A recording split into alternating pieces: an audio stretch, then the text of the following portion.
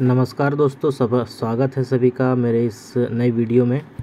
आज हम लोग जानेंगे कि वी पी ऐप के माध्यम से हम लोग आजीविका योजना हम लोग किसी दीदी का या किसी समूह का कैसे बना सकते हैं। तो सबसे पहले आप अपने मोबाइल के प्ले स्टोर से V P app N R L M V P app को इंस्टॉल कर लीजिएगा। इंस्टॉल करने के बाद आप लॉगिन आईडी पासवर्ड डालने के लिए जैसे आप एप्लीकेशन ओपन करते हैं तो सबसे पहले आपको ये दिखाई देगा आ, सामने वाले पे जिसमें पर लिखा होगा गेट स्टार्टेड इस गेट स्टार्टेड को हम लोग टच कर लेते हैं।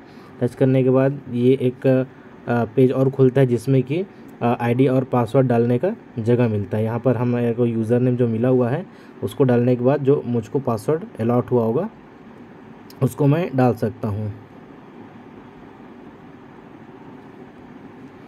डालने के बाद हम लोग साइन इन कर लेंगे। साइन इन करने के बाद सबसे पहले हमको सामने के पेज में दिखाई देगा। ऊपर में आप लोग देख पा रहे हैं ये तीन लकीर तीन लकीर में हम लोग होम का ऑप्शन मिलता है और दूसरा जो मिलता है वो लॉग आउट का ऑप्शन मिलता है। आ, उसी प्रकार बगल में हम लोग देखेंगे कि लैंग्वेज को हम लोग कैसे चेंज कर सकते हैं। इंग्लिश का है करना चाहते हैं इंग्लिश का हिंदी में करना चाहते हैं हिंदी का और ये बगल वाला हरे रंग का बिंदु आपको दिखाई दे रहा है। इससे हमको ग्रीन रंग से मालूम चलता है कि हम ऑनलाइन हैं। तो हम लोग लैंग्वेज को चेंज कर लेते हैं। सबसे पहले इंग्लिश है। सॉरी ये इंग्लिश का ही दिखा रहा है इंग्लिश लैंग्वेज का है। खैर कोई बात नहीं मैंने आ, इस वीडियो में कोशिश करूँगा कि जो भी है वो आपको हिंदी में ही बता पाऊँ। तो सबसे पहले आप लोग सामने में देख लो आप लोग देख पा रहे हैं कि तीन समूह हमको दिखाई दे रहे हैं। जय माँ बमलेश्वरी दूसरा वैष्णवी समूह। तो जो भी समूह का हम लोग एंट्री करना चाहते हैं उस समूह को जा करके हम लोग डायरेक्टली टच कर लेते हैं। मान लो हम लोगों ने वैष्णवी समूह का एंट्री करना है तो जिसमें कि हमको दो दी जितनी भी दीदियाँ हैं समूह में वो सभी का नाम दिखाई दे रहा है। शांति निषाद नंद कुमारी है। इसके पहले एंट्री करने से पहले मैं बताना चाहूँगा कि ऊपर में आपको तीन ऑप्शन दिखाई दे रहा है। एक तो जितने भी सदस्य सबसे पहले उसका प्रोफ़ाइल एंट्री होगा मेंबर प्रोफ़ाइल के माध्यम से। उसके बाद लाइवलीहुड प्लान बनेगा। और लास्ट में जो ऑप्शन लास्ट लास्ट में जो आ, करेंगे हम वो उस समूह को उस सदस्य को रैंकिंग देंगे कि उसको प्राथमिकता के आधार पर हम लोग उसको अलग अलग रैंकिंग देते हैं। पहला रैंकिंग है दूसरा रैंकिंग है। तो सबसे पहले हम लोग देख लेते हैं कि प्रोफ़ाइल हम एंट्री हम लोग कैसे करते हैं। तो जो भी दीदी का हम लोग को, प्रोफ़ाइल एंट्री करना है उस दीदी को हम लोग टच कर लेंगे उस दीदी के नाम को। उस दीदी के नाम को मान लो ये इस दीदी का हम लोगों को गोदावरी दीदी का एंट्री करना है। तो सबसे पहले जो बगल में आपको धन का या प्लस का चिन्ह दिख रहा है उसको आप लोग टच कर लेंगे। टच करने से वो दीदी एक एक, पेज खुलता है। उसमें हम लोग देख पा रहे हैं कि दीदी कौन कौन से आजीविका गतिविधि में संलग्न है। कृषि में है या अन्य कृषि आधारित गतिविधि में है पशुपालन में है एनटीएफपी में है नॉन फार्म किसी अगर किसी प्रकार का काम करती होंगी सूक्ष्म उद्यम तो इन सब इन सब गतिविधि से उनको कितना आमदनी हो रहा है? वो दीदी का जितना आमदनी होगा, वार्षिक आमदनी उसको लिखेंगे। और लास्ट में हम लोग यहाँ पर आप लोग देख पा रहे हैं कि सभी का टोटल कुल, सभी गतिविधि का कुल आमदनी कितना हो रहा है? यहाँ पर वो ऑटो ऑटो कैलकुलेट हो जाएगा। इतना एंट्री करने के बाद हम लोग आगे बढ़ जाएँगे।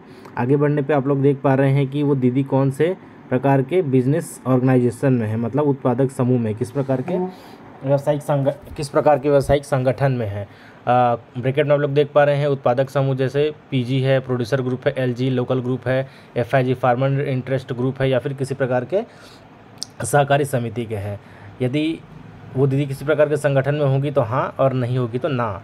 मान लो दीदी नहीं होंगी तो डायरेक्टली वो आगे पूछते हैं कि सेकंड नंबर का क्वेश्चन में कि कौन से प्रकार के ऑर्गेनाइजेशन में या संगठन में वो शामिल होना चाहते प्रोड्यूसर ग्रुप है, फार्मर ग्रुप है लोकल ग्रुप है, फार्मर इंटरेस्ट ग्रुप है या किसी प्रकार का कोऑपरेटिव सोसाइटी है। यदि हाँ तो हाँ में दूसरे प्रकार का और क्वेश्चन दिखता है कि अगर वो दीदी किसी प्रकार के ऑर्गेनाइजेशन में जुड़ी होगी तो वो ऑर्गेनाइजेशन क्या है? प्रोड्यूसर ग्रुप है एफपीसी है, फार्मर प्रोड्यूसर कंपनी है, लोकल ग्रुप है, किसी प्रकार का समिति है जिसमें भी वो जुड़ी होंगी हम लोग यहाँ पर देख सकते हैं और उसमें टच कर सकते हैं। तीसरा जो क्वेश्चन है कि वो दीदी जो भी ऑर्गेनाइजेशन में जुड़ी हुई है वो ऑर्गेनाइजेशन क्या काम करता है? किसी प्रकार का आ, वो उत्पादन का काम करता है या फिर इनपुट खरीदने का काम करता है ऋण देने का काम करता है या किसी अन्य प्रकार का और काम करता होगा? आप लोग अलग अलग ऑप्शन में देख पा रहे हैं इसमें। उसी प्रकार जो चौथा क्वेश्चन है कि अगर वो दीदी किसी प्रकार के ऑर्गेनाइजेशन में जुड़ना चाहती है तो कौन से ऑर्गेनाइजेशन में जुड़ना चाहती है? प्रोड्यूसर ग्रुप है फार्मर कंपनी है लोकल ग्रुप है फार्मर इंटरेस्ट ग्रुप है कोऑपरेटिव सोसाइटी है किसी प्रकार का, सहकारी समिति में या फिर अन्य किसी प्रकार के और संगठन में जुड़ना चाहती है। ये जानकारी देने के बाद हम लोग आगे बढ़ जाएँगे। आगे बढ़ने के बाद हम लोग देख पाते हैं कि दीदी किस प्रकार के स्किलिंग प्रोग्राम में के लिए ट्रेनिंग हुई है। कौशल विकास के कारण कार्यक्रम से जुड़ी हुई है। यदि जुड़ी होगी तो हाँ डालेंगे नहीं अगर नहीं डालते हैं तो आगे का क्वेश्चन ये पूछता है कि उसको किस प्रकार के स्किल का कार्यक्रम में उनको किस प्रकार के सपोर्ट की आवश्यकता है। यदि हाँ डालेंगे तो आप लोग देख पा रहे हैं कि दूसरा जो क्वेश्चन है, पूछ रहे हैं कि वो किस प्रकार का ट्रेनिंग उन्होंने लिया हुआ है, चाहे वो ब्यूटी पार्लर का हो सिलाई सीखने का हो या किसी भी प्रकार का। है ना? किस प्रकार के ऑर्गेनाइजेशन में ली हुई है दीदी ने? अलग अलग प्रकार ऑर्गेनाइजेशन ऑर्गेनाइजेशन होते हैं। कई प्रकार के प्राइवेट ऑर्गेनाइजेशन है, सरकारी ऑर्गेनाइजेशन में दीनदयाल उपाध्याय है आर सी टी है तो वो जिसमें भी सीखे होंगे हम लोग डाल सकते हैं। और आखिरी जो क्वेश्चन है कि वो जो भी ट्रेनिंग ली होगी तो कौन से साल में ली होगी? 2022 में है, तेईस में है या इसी साल में है 2024 में। ये डालने के बाद हम लोग नीचे वाले नेक्स्ट के ऑप्शन से हम लोग आगे बढ़ जाएँगे। आगे बढ़ने के बाद हमको देख पा आप लोग देख पा रहे हैं कि दीदी ने किस प्रकार का, किसी प्रकार का अगर लोन लिया है या नहीं, अगर नहीं लिए हैं तो आप लोग देख रहे हैं कि किसी भी प्रकार का आगे का क्वेश्चन नहीं पूछ रहा है। यदि हम लोग यस डालते हैं तो दूसरा जो क्वेश्चन पूछ रहा है कि वो कौन सी आजीविका गतिविधि के लिए उन्होंने लोन लिया हुआ है? क्या वो कृषि के लिए है, अन्य कृषिगत गतिविधि के लिए है, पशुपालन के लिए है एन के लिए है उद्यम, सूक्ष्म उद्यम के लिए या किसी अन्य प्रकार के और गतिविधि के लिए या फिर कार्य के लिए वो लोन ली होगी। उसी प्रकार तीसरा जो क्वेश्चन हम लोग देख पा रहे हैं कि लोन लेने का सोर्स क्या है? अलग अलग सोर्स होते हैं, जैसे कि S H G V O C L F से भी मिलता है लोन बैंक लिंकेज के माध्यम से मिलता है माइक्रो फाइनेंस इंस्टीट्यूट भी कई छोटे मोटे लोन उपलब्ध करा सकते हैं किसी प्रकार का सहकारी समिति के माध्यम से अगर लोन ली होगी या फिर इनफॉर्मल सोर्स मतलब किसी अपने जान पहचान के पास से ली होंगी ऋण तो हम लोग उसका जानकारी देते जाएँगे। देते के बाद हम लोग ये चौथा क्वेश्चन देख पा रहे हो आप लोग। चौथे क्वेश्चन में आप लोग देख पा रहे हो कि टोटल लोन का अमाउंट आपको लिखता जाएगा, जो भी सोर्स से लिए होंगे, और उनका एनुअल इंटरेस्ट कितना है। वो आपको यहाँ पर ऑटो कैलकुलेट या फिर जो भी होगा आप लोग यहाँ पर लिख सकते हैं। ये एंट्री करने के बाद हम लोग इसको सेव कर लेंगे। तो ये ऑप्शन देता है कि आप इसको कंटिन्यू रखना चाहते हैं सेव करने के लिए तो हम लोग इसको यस डाल करके जो भी दीदी का हम लोगों ने प्रोफ़ाइल एंट्री किया है, वो यहाँ पर दिखता जाता है ना? हरे रंग का छोटा सा तीर का निशान दिख रहा है, टिक का निशान दिख रहा है तो हम लोग जान पाते हैं कि वो दीदी का एंट्री हो चुका है। दूसरा जो योजना है हम लोग दूसरा जो गतिविधि है, वो हम लोग डालते हैं कि हम लोग प्लान बनाते हैं। इसको जाकर के टच करते हैं तो जितना भी दीदी का प्रोफ़ाइल एंट्री हुआ है, यहाँ पर हम लोगों ने एक दीदी का प्रोफ़ाइल एंट्री किया तो एक दीदी का नाम शो होगा। और उसी में ही आप लोग बगल में देख पा रहे हो कि ऐड प्लान करके छोटा सा यहाँ पर दिया हुआ। इस ऐड प्लान के माध्यम से हम लोग अंदर आते हैं तो अंदर आने के बाद सभी प्रकार की गतिविधि फ़ार्मिंग है एनिमल हस्बेंड्री है एनटीएफपी है तो इसमें हम लोग कैसे योजना बना सकते हैं उसका दिया हुआ है। चाहे वो वो आ, आ, योजना हम लोग व्यक्तिगत बनाए या फिर ग्रुप बनाए। अदर फार्म बेस्ड एक्टिविटी में व्यक्तिगत बनाए या फिर ग्रुप से बनाए। एनिमल हस्बेंड एनिमल हस्बेंड्री में भी आप लोग देख पा रहे हैं कि वो व्यक्तिगत है या ग्रुप है। वैसे ही लास्ट में हम आपको बताना चाहता हूँ कि एनआरएम वर्क है प्राकृतिक संसाधन प्रबंधन का। इसमें हम लोग ऑप्शन देख पाते हैं कि क्या क्या ऑप्शन खुल सकता है। इसमें केवल इंफ्रास्ट्रक्चर का ही इंफ्रास्ट्रक्चर में हम लोग क्या क्या बना सकते हैं। तो पहला है अफॉरेस्टेशन ऑफ़ वेस्टलैंड वृक्षारोपण का काम है चेक डैम है। चेक डैम बनवाना चाहते हैं तो चेक डैम बनवा सकते हैं कंटूर लाइन अगर बनाना चाहते हैं ड्रेनेज ज़्यादा अगर पानी जमा वाले जगह है तो वहाँ पर जल निकासी का कुछ काम करना चाहते हैं, गली प्लग बनाना चाहते हैं मिनी पर्कुलेशन टैंक है प्लांटेशन का कुछ काम लेना चाहते हैं। रिचार्ज स्पीड बनवाना चाहते हैं ताकि पानी अंदर जा सके या फिर कुआँ बनवाना चाहते हैं सोप पिट बनवाना चाहते हैं स्ट्रेगर ट्रेंच बनवा सक, बनवाना चाहते हैं या फिर हमारा जो भी बंजर ज़मीन है उसके डेवलपमेंट के लिए अगर कुछ काम कराना चाहते हैं तो ये अलग अलग प्रकार के एन वर्ष के अंतर्गत आते हैं। चलिए आज अभी हम लोग देखते हैं कि एक व्यक्तिगत अगर योजना बनाते हैं फ़ार्मिंग का तो उसमें क्या क्या क्वेश्चन पूछते हैं। तो सीधे हम लोग जा कर के इस वाले ऑप्शन में टच कर लेंगे। टच करने के बाद आप लोग देख पा रहे हैं कि दीदी कौन से सीज़न में हम लोग उन दीदी का योजना बनाना चाहते हैं। मान लो हम लोग खरीफ में बनाना चाहते हैं तो दूसरा क्वेश्चन पूछते हैं कि किस फ़सल में बनाना चाहते हैं।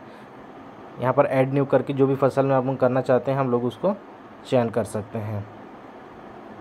अलग अलग फ़सलों के नाम हैं। एजगार्ड है केला है अलग अलग सब्जियों के हैं।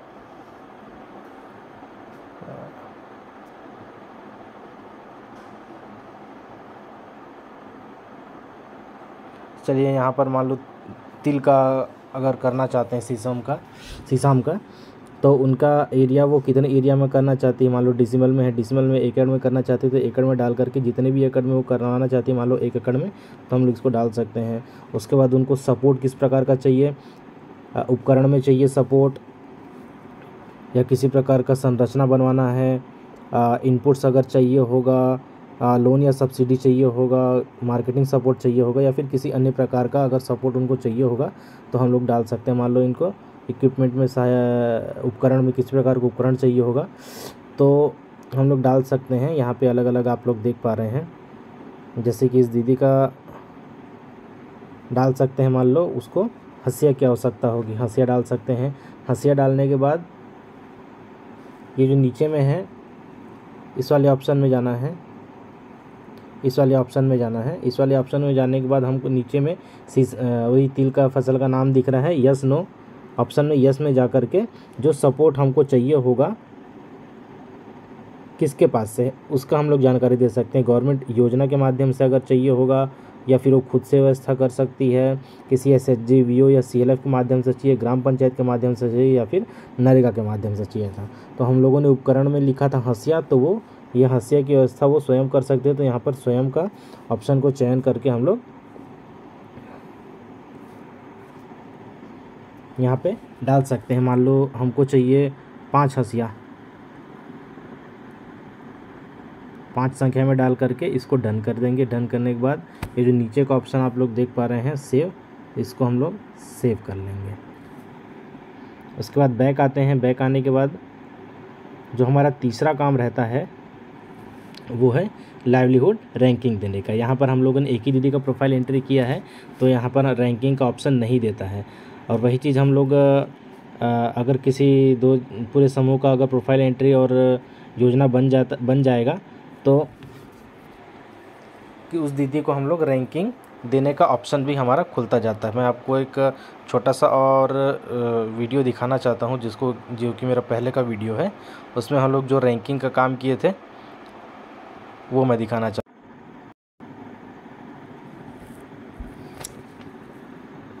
आप लोग देख पा रहे हैं कि जिस भी दीदी का हम लोगों ने प्लान बनाया है रैंकिंग के लिए जब जाते हैं तो वो दीदी के बगल के नाम के बगल में एक छोटा सा डब्बा दिया रहता है। यहाँ पर ज़ीरो लिखाया रहेगा। अगर शुरुआत में लोग जब एंट रैंकिंग नहीं दिए होंगे तो यहाँ पर ज़ीरो आप लोग देख पा रहे हैं। छोटा सा। आ, अगर किसी दीदी का हम लोगों को हम लोगों ने एक नंबर डाल दिया है तो एक नंबर में उस दीदी को चयन करने का, एक नंबर देने का क्या वजह है? है ना, नीचे वजह आप लोग देख देख पा रहे हैं रीज़न फॉर द रैंकिंग क्या वो किसी संकटग्रस्त जनजाति के हैं, या फिर वृद्ध हैं, या किसी पीवीटीजी परिवार में से सम्मिलित हैं, अकेली बेसहारा महिला हैं, या फिर एस टी में आते हैं महिला मुखिया है, दिव्यांग हैं ट्रांसजेंडर हैं, बंधुआ मजदूर हैं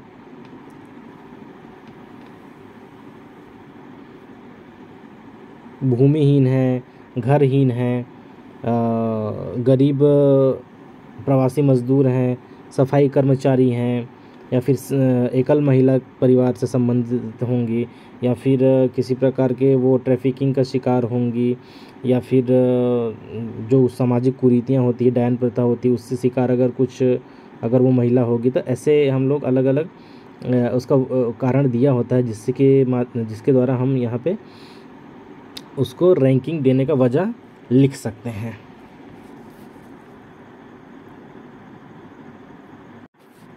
रैंकिंग देने के बाद हम लोग मेंबर प्रोफ़ाइल वाले उसमें आ जाते हैं सामने में। इसके बाद आप लोग नीचे में देख पा रहे होंगे ऑप्शन ये तीन डंडी आप लोग देख पा रहे होंगे, इसको आप लोग हम टच करते हैं। तो हमको तीन ऑप्शन यहाँ पर खुल करके सामने आते हैं। पहला आप लोग देख पा रहे हैं व्यू डाउनलोड समरी व्यू या फिर हम लोग जो भी एंट्री किए हैं उसको देख सकते हैं डाउनलोड करके कि क्या क्या एंट्री हुआ है। दूसरा जो है हमारा, कि जो हम लोगों ने योजना बनाया है उसको व्यू में भेजेंगे। और तीसरा जो ऑप्शन आप लोग देख पा रहे हैं रिक्वेस्ट फॉर रिसबमिशन या उसको फिर से सबमिट करने के लिए एक रिक्वेस्ट हम लोग भेजना चाहते हैं तो हम लोग ये तीसरा ऑप्शन चेंज कर सकते हैं। सामान्यतः अगर हमारा योजना सही बना हुआ है तो ये जो सेकंड नंबर का है option submit V livelihood plan to VO इसमें जाएँगे। जाकर, जाने के बाद जो हमारा प्लान बना है, उसको हम लोग कहाँ भेज देंगे? वीओ में। संबंधित जो भी समूह का, जो भी वीओ होगा, उसमें, उस वाले आईडी में इनका जो भी प्लान योजना बना हुआ होगा, चाहे वो आजीविका का हो या फिर हकदारी योजना से संबंधित कोई भी योजना हमने बनाया है तो वो वीओ के आईडी में दिखता जाएगा। तो इस वीडियो में हम लोगों ने देखा कि कैसे हम लोग एक समूह का या फिर एक दीदी का, एक दीदी का कैसे हम लोग वीपीआरपी के माध्यम से आजीविका योजना बना सकते हैं और कैसे उसको व्यू में हम लोग भेज सकते हैं। आशा करता हूँ कि मेरा ये वीडियो आप लोगों को पसंद आया होगा। अगर आपको आजीविका वीपीआरपी के माध्यम से आजीविका गतिविधि एंट्री करने में जो भी समस्या आ रही होगी तो आप मुझको मैसेज कर सकते हैं। Thank you.